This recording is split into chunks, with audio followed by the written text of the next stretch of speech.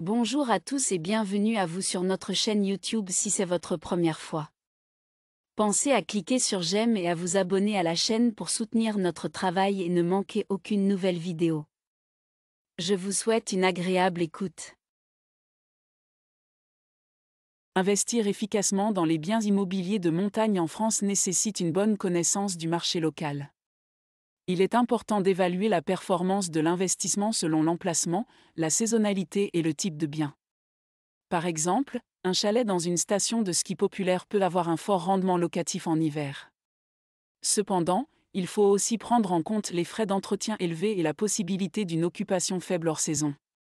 Il est donc recommandé d'étudier les tendances du marché, d'avoir un plan financier solide et de chercher conseil auprès d'un expert immobilier local pour maximiser le potentiel de votre investissement.